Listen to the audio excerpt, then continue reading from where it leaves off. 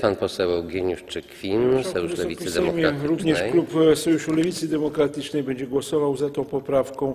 Przy okazji chciałbym podziękować panu ministrowi Ratajczakowi za życzliwość, którą myślę pani poseł jeszcze będzie dziękowała ministrom.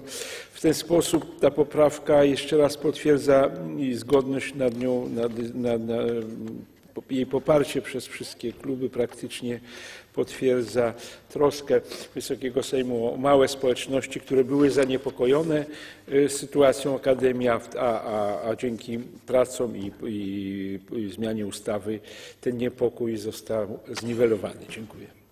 Dziękuję panu, panie pośle.